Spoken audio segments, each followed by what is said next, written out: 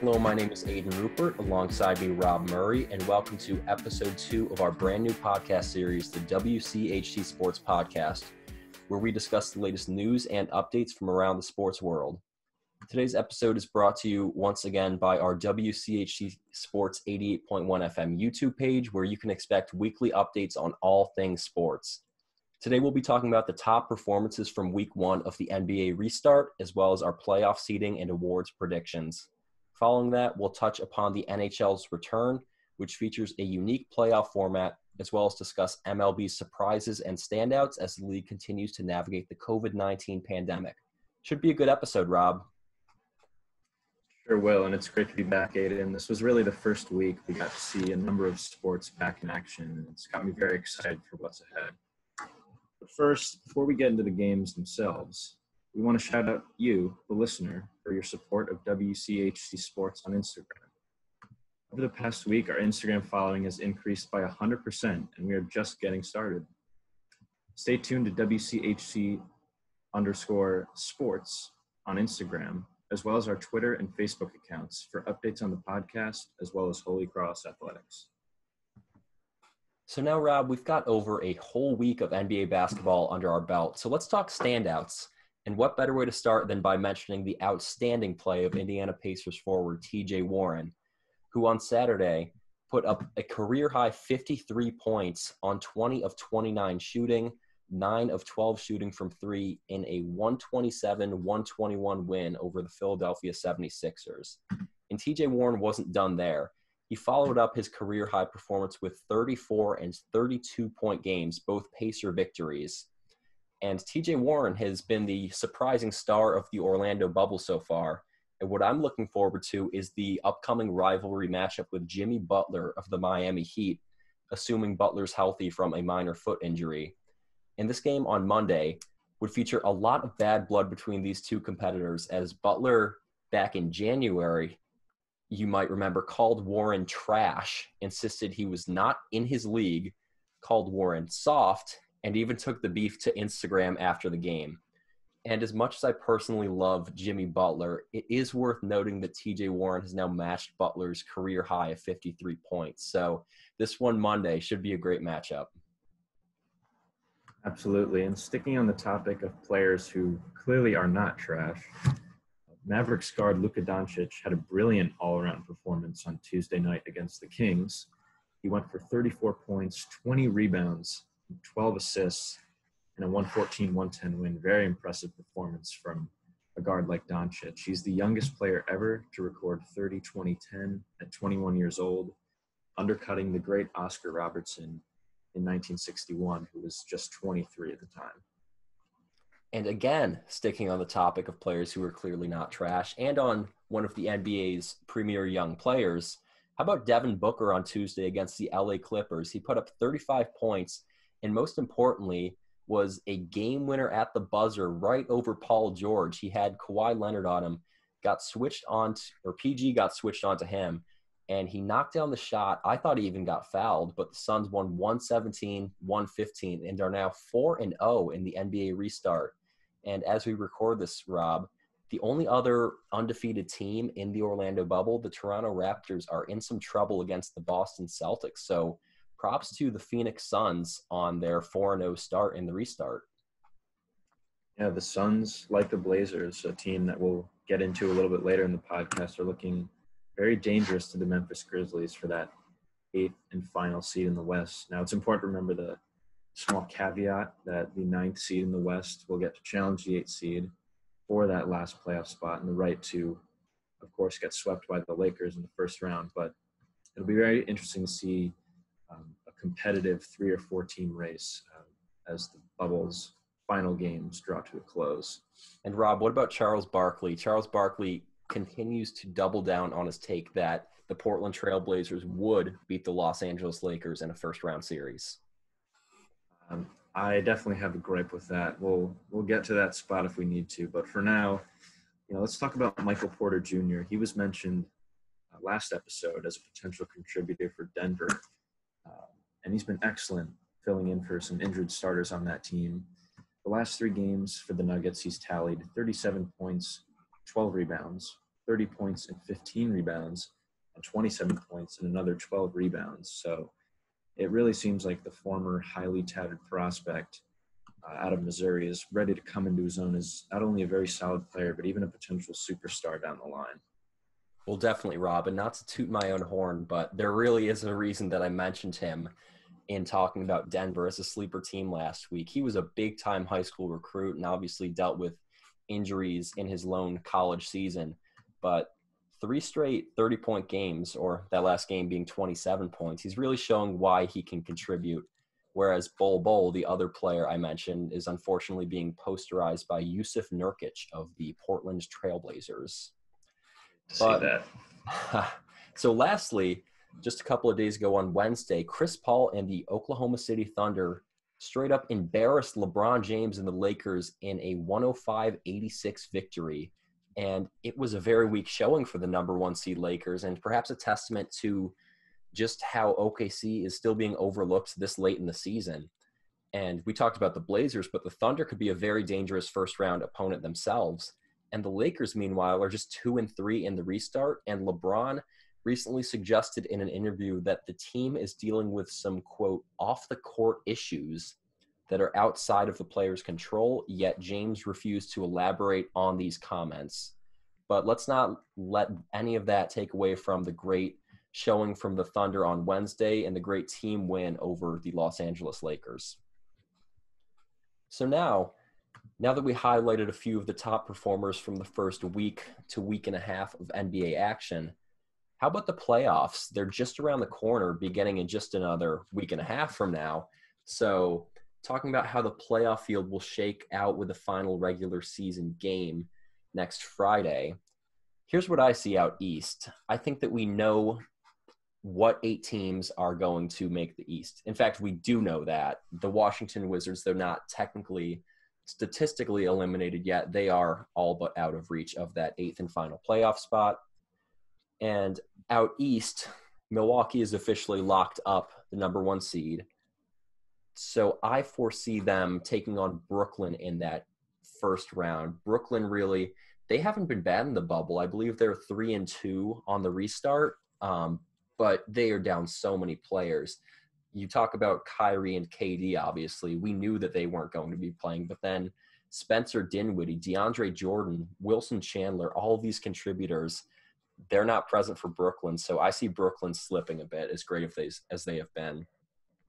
Number two, I see Toronto taking on Orlando.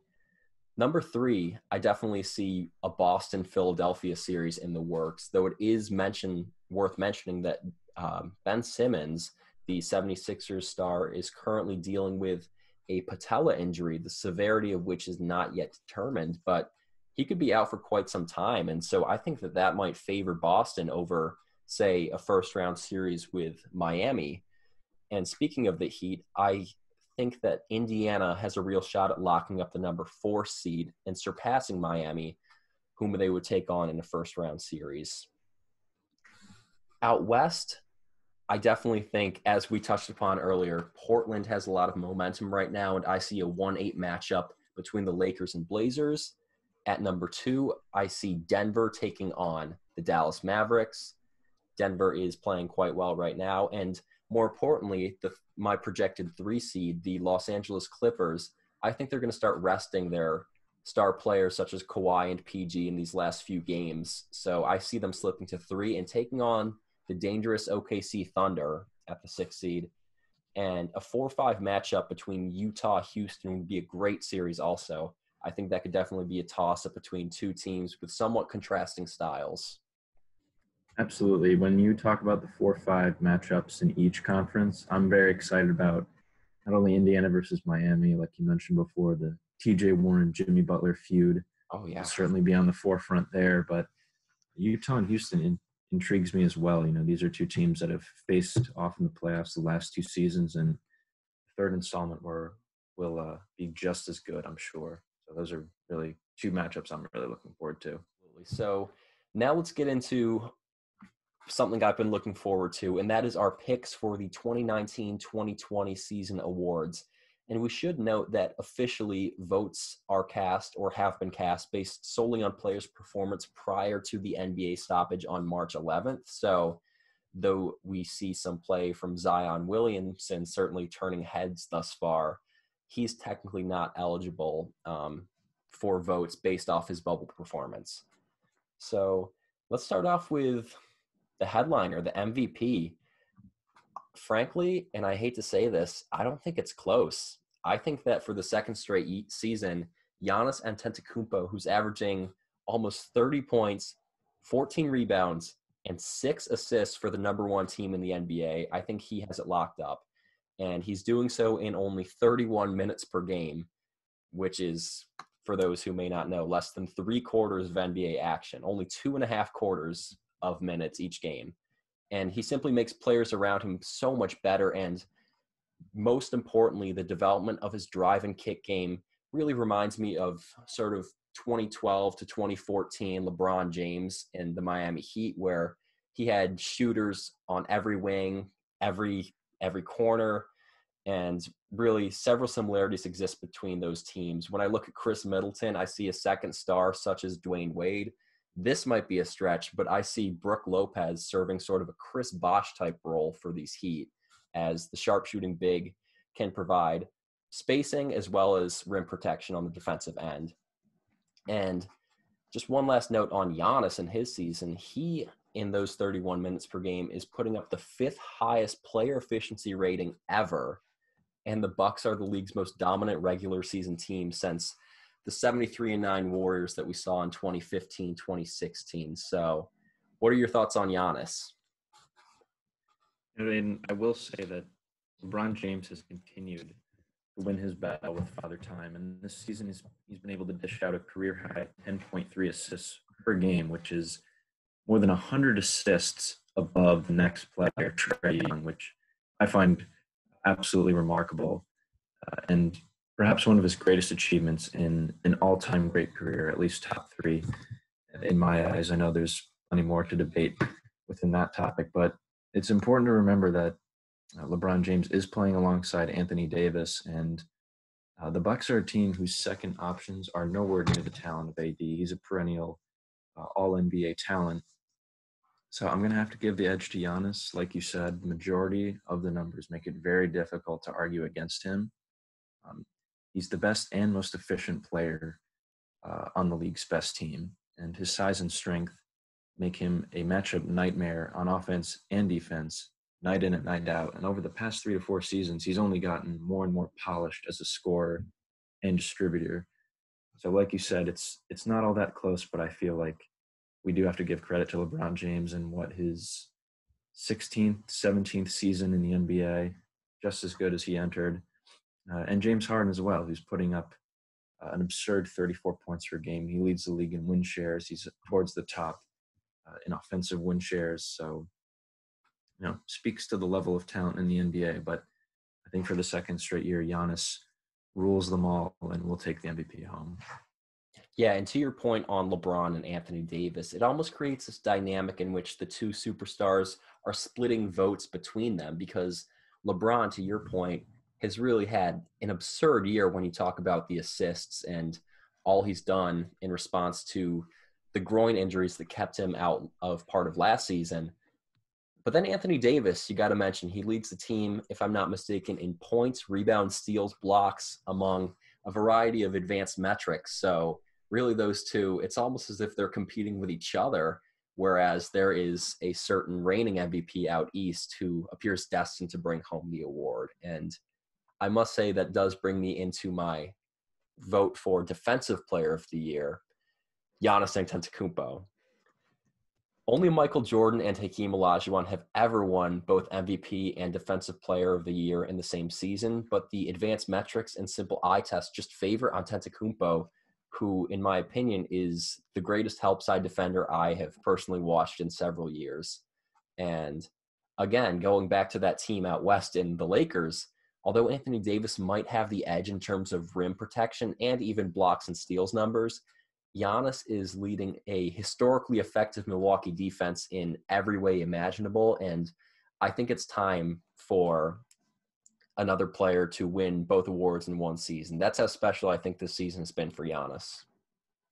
What better time than 2020 for for Giannis to become just the third player ever?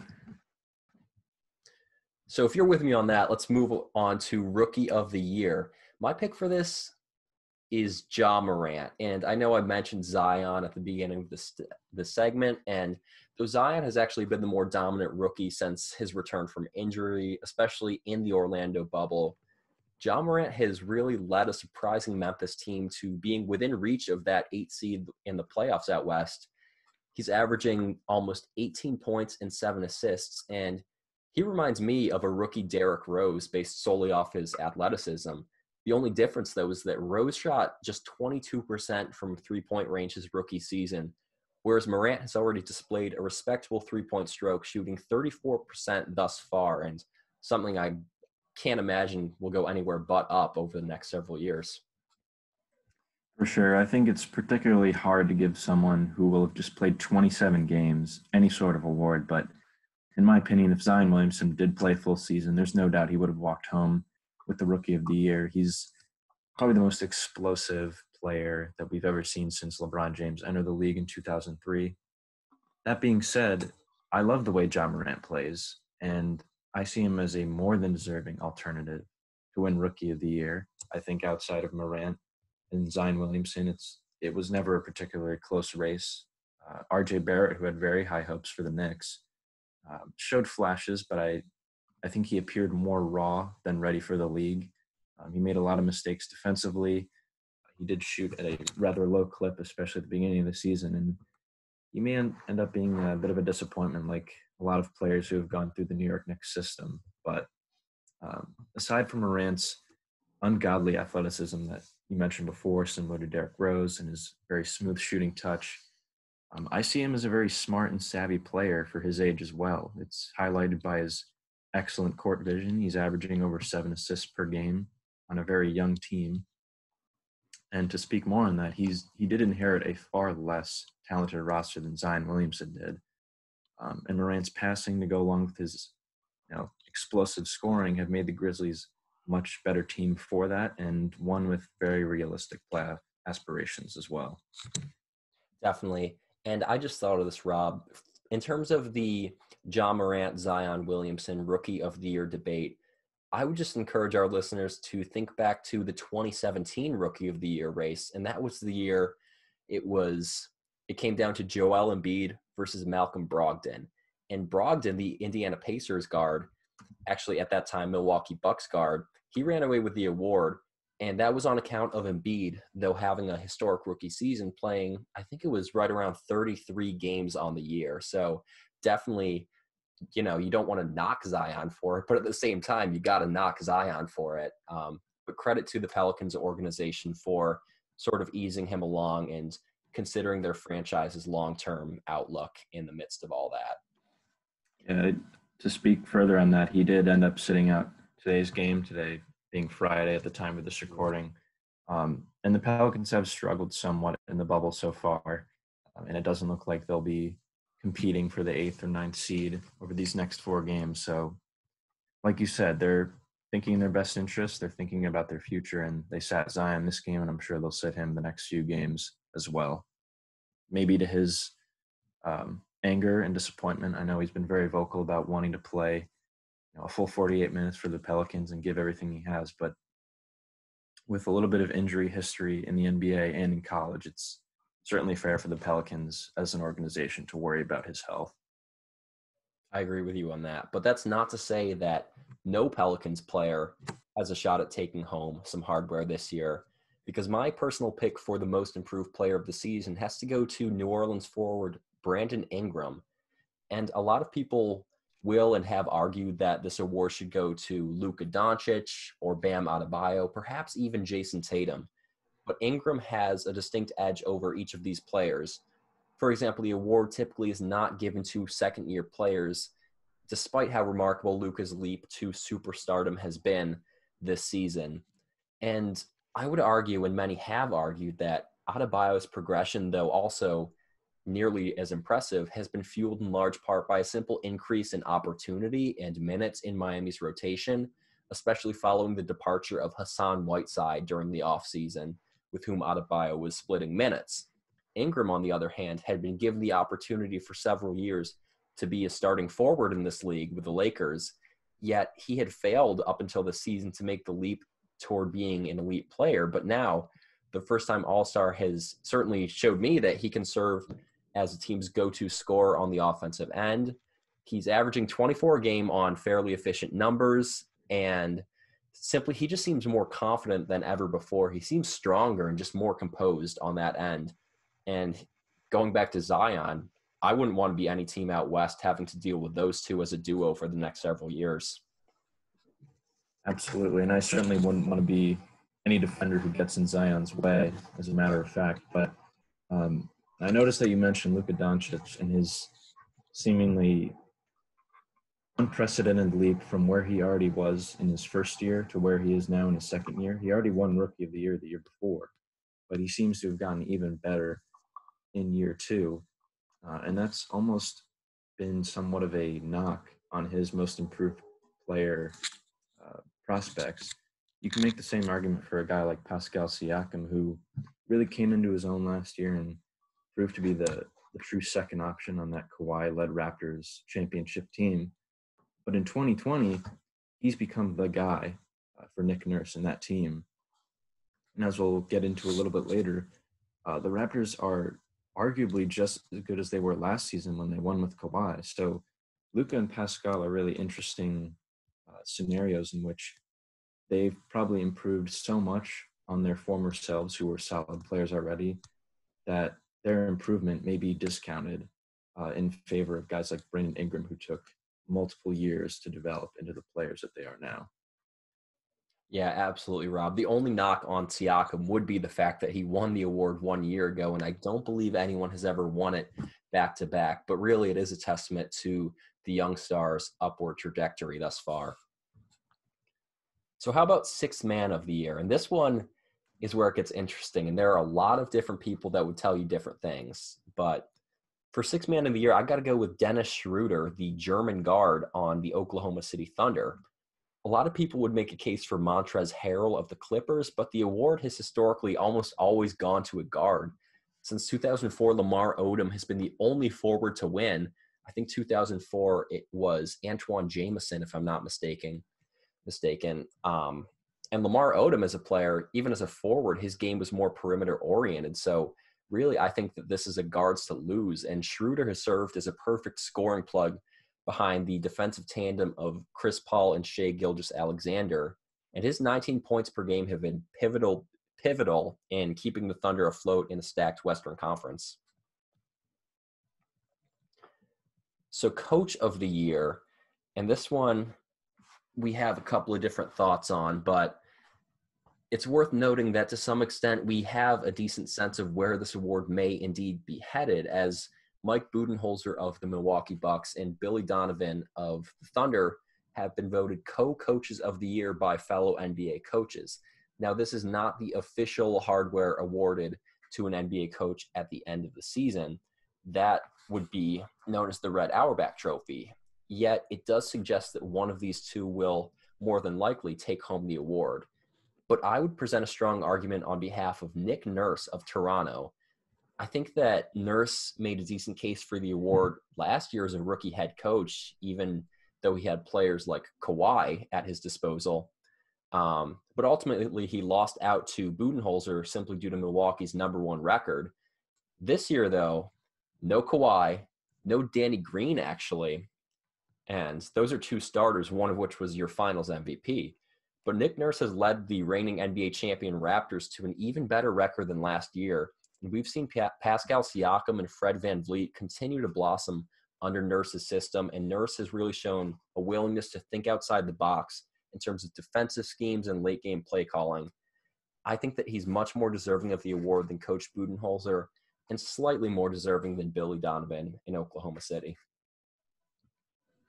Sure, Aidan. Billy Donovan is my obvious choice from the West. He's re energized a team that was written off from playoff contention as early as last summer when they traded Russell Westbrook and Paul George for an absolute king's ransom of picks. I think dating all the way to 2026. So they they will be set for the future, but surprisingly, they seem to be set now. Chris Paul, Shai Gilgeous-Alexander, like you mentioned before, Dennis Schroeder and company have done nothing but prove us wrong under Billy Donovan, and they could very realistically vault up to that fourth spot in the Western Conference by the end of the the bubble games.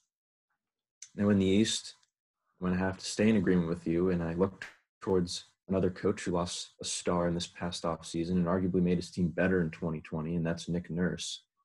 Uh, and the Kawhi Leonard-less Toronto Raptors not only remaining one of the conference's elite teams, but also keeping in stride with the Bucks for most of the season. Guys have filled in when necessary, and they've taken on many new roles and responsibilities with Kawhi and Danny Green's departure. And I think Toronto is as primed as ever to defend their title. Yeah, I agree with you on that, Rob. And as mentioned during last week's episode, WCHC Sports co chair Evan Crum recently had a chance to sit down virtually with Holy Cross men's basketball coach Brett Nelson for an interview, and that interview is coming to YouTube. Stay tuned to WCHC Sports 88.1 FM YouTube, Instagram, Facebook, and Twitter for information on how to view Evan's talk with Coach Nelson. So, as you know, Aidan, the NBA hasn't been the only major sports league to resume the end of its regular season. The NHL recently implemented their own schedule aimed to narrow a field of 24 teams down to 16 who will ultimately compete in this year's Stanley Cup playoffs.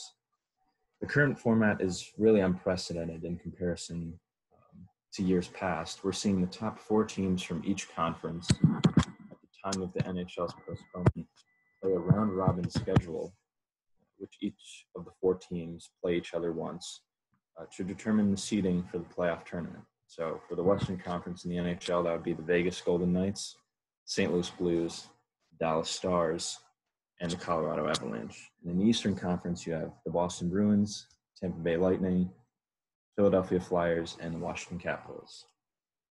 Now, NHL fans, including myself, all understood that this new format would be nothing like we've ever seen before, but perhaps something that no one saw coming was the St. Louis Blues and the Boston Bruins, last year's Stanley Cup finalists and the number one seeds in their respective conferences before the 2020 lockdown, are both 0 2 right now in the NHL bubble as of Friday and can only go as high as the third seed in this round robin format.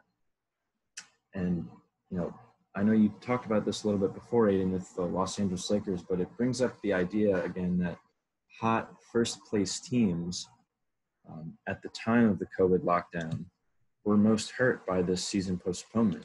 Their momentum approaching the postseason was stunted, and less successful teams have since had the opportunity to recoup, re strategize, and get healthy. So, meanwhile, you're seeing the Avalanche, the Knights, the Flyers, and the Lightning, all who are 2 and 0 uh, in this restart, leapfrog into the top two spots in the Western and Eastern Conference, putting them in a fantastic position to go on a deep postseason run. And you know, Rob, it's surprising, but at the same time, I think it makes a lot of sense because no matter the sport, professional athletes across the board have really expressed the sentiment that this is essentially a brand new season even though it's a resumed season. So after months off, it's incredibly difficult, as you mentioned, for a team like the Bruins to just pick up where they left off. And you're also right in saying that other teams have had the chance to rest up and get healthy. Um, and we're seeing that pay off with these surging NHL teams just climbing up the standings rapidly. But that said, it falls upon teams like the Bruins and the Blues to regroup and just remind people why they were the number one teams in the NHL prior to the stoppage. But I agree with you. It's a big shock for sure. And number three or number four seed definitely isn't quite what these two teams had in mind. Yeah, big shock is the perfect way to describe um, the reaction of many Bruins and Blues fans alike. The Bruins had 100 points before the lockdown. They were primed to win the President's Trophy. They looked determined to avenge that Stanley Cup Finals loss from last year. But in their first two games in the bubble against the Flyers and the Lightning, they they look stale. And I think they're certainly going to have that on their minds as they enter the actual Stanley Cup playoffs, which will be determined From the next eight teams in each conference, seeds 5 through 12, they have not been guaranteed their own place in the postseason field just yet, so they have to earn their way in via the Stanley Cup qualifiers. Qualifiers consist of eight five game series, four in the East, four in the West, with the winner of each series moving on to play one of the round robin teams in the first round of the playoffs. And the qualifiers themselves themselves have produced their own fair share of drama with the Chicago Blackhawks and the Montreal Canadiens, the two lowest seeds in the entire tournament at the 12th seed, each dispatching their fifth seeded opponents in four games out of five the Edmonton Oilers and the Pittsburgh Penguins, respectively. And this was a rather remarkable turn of events. You saw two of the NHL's top talents in Oilers center Connor McDavid and Pittsburgh center Sidney Crosby bow out very early to largely inexperienced teams. And we've also gotten to see an incredible series between the Maple Leafs and the Blue Jackets, with 3 0 leads being blown in back to back nights in game three and game four. Uh, game three going to the Jackets, game four going to the Leafs. And a winner go home game five is scheduled for Saturday night. And at the time of this recording, we have the Canucks and the Wild battling out in a game four. That could potentially go five. So a really competitive series, uh, really competitive series all around in the NHL. In many ways, it feels like a March Madness type of week for hockey fans. You get a full slate of four to five games every day, and a lot of stronger teams getting upset. And it's it's really been an electric return to sports, no doubt. Absolutely, and big time stuff from both the Blackhawks and Canadiens, And frankly, Rob, though certainly confusing to many, I personally love what the NHL elected to do with this Stanley Cup qualifier because you hear a lot about the importance of playoff experience in the development of young players. And Commissioner Gary Bettman seems to have kept this in mind in his role in developing the playoff format. Now, although not every team will ultimately make the real deal, the Stanley Cup, the qualifying round is a sort of playoff series in and of itself, seeing as it's a best of five series in which teams will ultimately have their backs against the wall, just as they would in a real playoff series. And I think it's going to give a lot of these young guys a valuable experience experience that they might not have had in an ordinary season. Absolutely, for sure. When you throw guys into a pressure cooker like that in a scenario where there's far less room for error than there would normally be in a postseason, you're going to have guys who shine through and, and deliver really great performances for their teams. And we saw that this past week. Do you ever find yourself thinking about sports while spreading cream cheese on your bagel? Do your friends ever complain that all you talk about is sports? Most importantly, do you consider Bob Cousy and Tom Heinsohn to be the best two NBA players of all time? If your answer is yes to any of these questions, WCHC Sports has a place for you. For information on opportunities to broadcast, podcast, and everything in between, email wchcsports at g.holycross.edu today. Moving on to Major League Baseball, Aiden, we finally welcomed back the Miami Marlins to regular season play on Wednesday, marking their first game since July 26th. And despite not having played for almost two weeks and needing to trot out a largely different roster in accordance with the COVID 19 protocol, the Marlins have found stunning success as a team with health, a healthy amount of minor league players forced to become core contributors. They've been 4 0 since returning to play and 6 0 overall on the season, which leads the National League East. Even more impressive considering Miami lost 105 games last season, 98 the year before, and hasn't had a winning season since 2009 the great things from the Marlins. They actually found out they just won again, 4-3 against the New York Mets. That's the final score from New York. That seven and one. Now since returning, and uh, you know these are we love sports. Sometimes you get these great comeback stories and these wacky situations from teams like the Miami Marlins, and uh, I can't wait to see what they do for the rest of the season. It's it's a nice little bright spot in what's been a shaky MLB season so far. I'm really glad the Marlins have been able to come back and play well. Well, definitely is impressive on their part, and the Marlins deserve a lot of credit for the way they've responded because so much negative attention was cast upon them for their potential role in the MLB's first real hurdle to playing out this season. But as you mentioned, some of these minor league players have taken sort of a next man up approach to things, and they're playing some good baseball as a result. And despite the franchise's struggles over the years, manager Don Mattingly actually just became the winningest Marlins manager of all time. And that 7 1 start you mentioned included, prior to tonight, actually, through the 6 1 start, a plus nine run differential, which is certainly worth noting.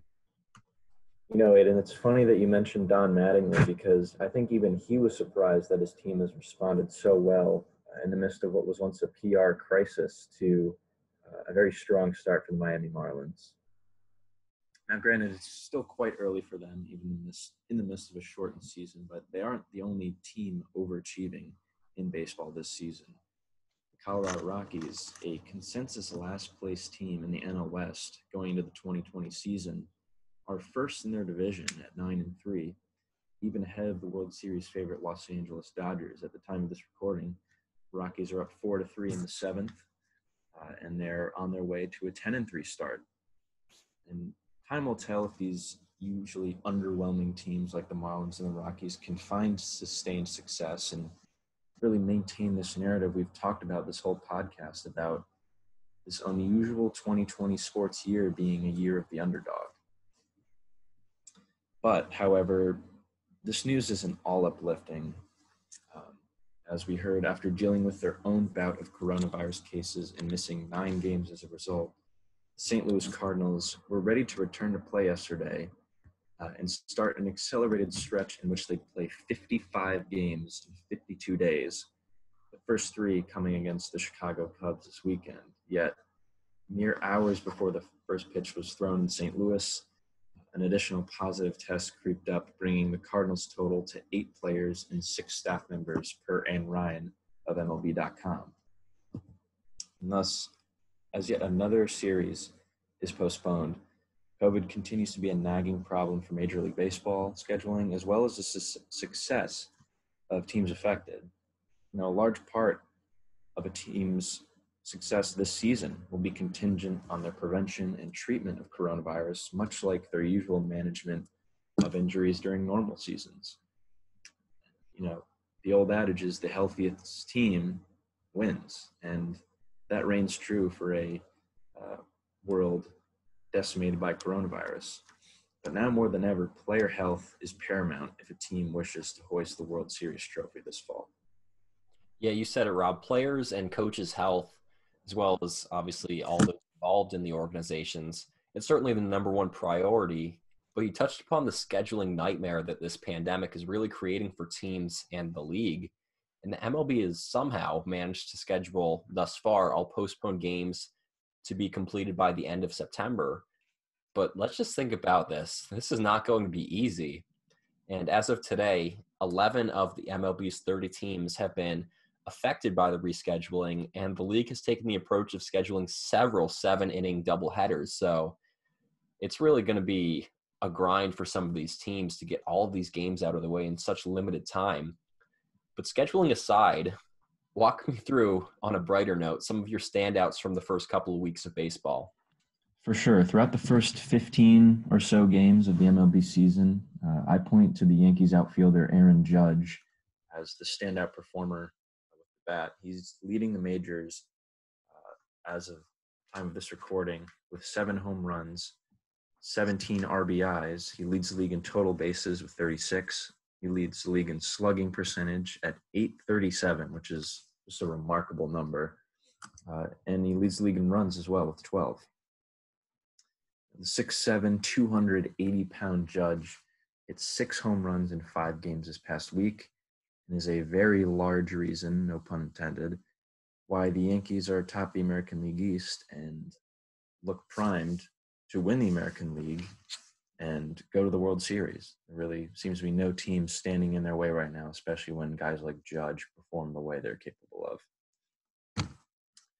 Now, going to the mound, Cleveland Indians pitcher Shane Bieber racked up 35 strikeouts in his first three starts leaving him just two short of Hall of Famer Nolan Ryan's all time record of 37 in his first three starts of 1973. The All Star Game MVP of last season, Shane Bieber, made a strong early case for the AL Cy Young Award, and he's looking to do more than just that. He's looking to power his team back into the postseason. Now let's get into our assists, fumbles, and what to watch for this next upcoming week. Sure, Rob. So my assist of the week goes neither to a player nor a particular team. I'm actually going to give it to the NBA itself, as the league's Board of Governors and Players Association recently pledged $300 million over the next decade to create and support the first NBA foundation, which will aim to spur economic growth in the Black community as part of the league's commitment to racial equality and social justice. And while I personally feel that the NBA has done really an admirable job in bringing social justice issues to the forefront thus far in its restart. Some have questioned how the league plans to back its message with real action. And I think Wednesday's news on the NBA Foundation certainly appears a step in the right direction. Absolutely. And for my assist of the week, I've noticed many organizations in Major League Baseball have gotten very creative with filling their empty stadiums as cardboard cutouts of fans occupy thousands of bleacher seats across the country. But on top of that, multiple teams are using this as an opportunity to make donations to worthy causes. Fans can purchase cutouts of themselves to be placed in their team stadiums, uh, with proceeds going to COVID 19 relief, like the Boston Red Sox are doing, or ALS research, like the Oakland Athletics are pledging themselves to. I think it's a real fun, innovative way to keep the fans engaged amidst a very quiet uh, MLB season, unlike any other we've ever seen, while simultaneously improving tens of thousands of lives. I think it's uh, a great job by the MLB and the organizations. It's really great to see. Definitely. It's sort of an even more innovative take on the NBA's version of this, in which they feature these virtual fans basically video calling into arenas, and it's fun. But at the same time, it's great to see the MLB really using this um, for the greater good. So, moving on to my fumble of the week, and boy, is this an unfortunate one. Without a doubt, my fumble of the week is Oakland Athletics bench coach Ryan Christenson, as following the Athletics 6 4 win over the Texas Rangers, Christenson was caught on camera appearing to make what resembled a Nazi salute before elbow bumping the team's players in the dugout. So naturally, both he and the team released statements thereafter apologizing for his actions. And I firmly believe Christenson when he says that the gesture was inadvertently made as elbow bumping has become more common among athletes in response to the pandemic, but is still a relatively new phenomenon but still, it was certainly a lack of awareness on the part of the 46 year old coach who played several years in the MLB himself, and frankly, not a great look for the Oakland A's. My week's fumble highlights the growing rift between Major League Baseball Commissioner Rob Manfred and the players, as both sides have started to point fingers with regards to who is responsible for baseball's shaky start and response to COVID 19. In a recent interview with ESPN's Karl Ravech, Manfred stated the importance of player responsibility amidst the pandemic and seemed to blame them for the league's shortcomings, saying, We are playing. The players need to be better, but I'm not a quitter in general, and there's no reason to quit now. Some believe these comments were ultimately justified, as Miami Marlins outbreak, uh, as we discussed earlier, was in part a result of an Atlanta nightclub visit by some of the players, which is clearly not the smartest move given the times we're in right now. But others, however, believe Major League Baseball's COVID policies and responses have been structurally weak and potentially dangerous um, in a time where our country is facing so much uncertainty about public health. Definitely. And last but not least, let's move on to our players or teams to watch for this upcoming week or so. And for this week, I'm going to be keeping an eye on Damian Lillard and the Portland Trailblazers. Lillard had a brilliant outing last night and drained 11 three pointers for 45 total points against a great Denver Nuggets defense. And in addition to Dame Dolla, good old Carmelo Anthony has turned some heads with some really clutch shooting down the stretch of close games. I've been impressed. And I've been even more impressed with center Yusuf Nurkic, who not only did he dunk on Nuggets rookie Bol Bol, but he's looked like one of the best centers in the entire league in his return from a really serious leg injury.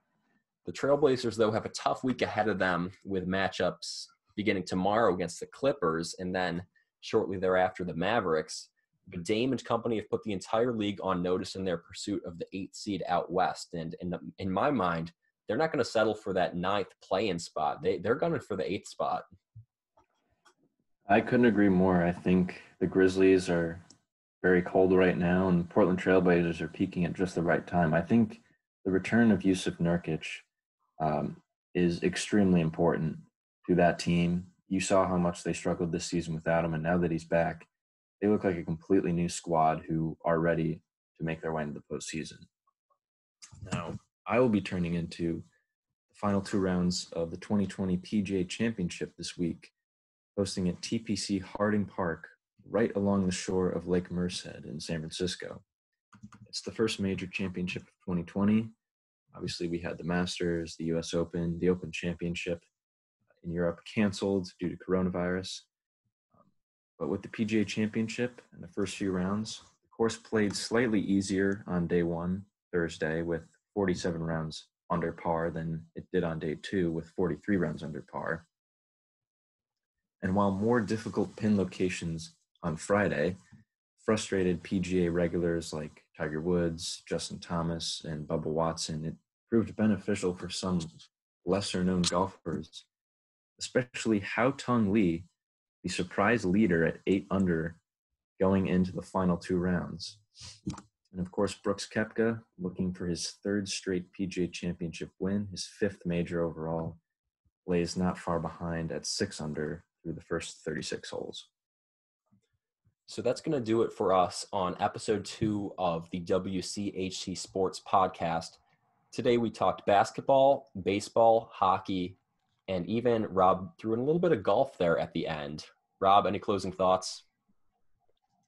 I'd just like to say thanks for everyone who's listening. It's great to see the follower base grow day by day. We'll get there soon enough, but for now, Thanks for tuning in. We'll see you guys episode three.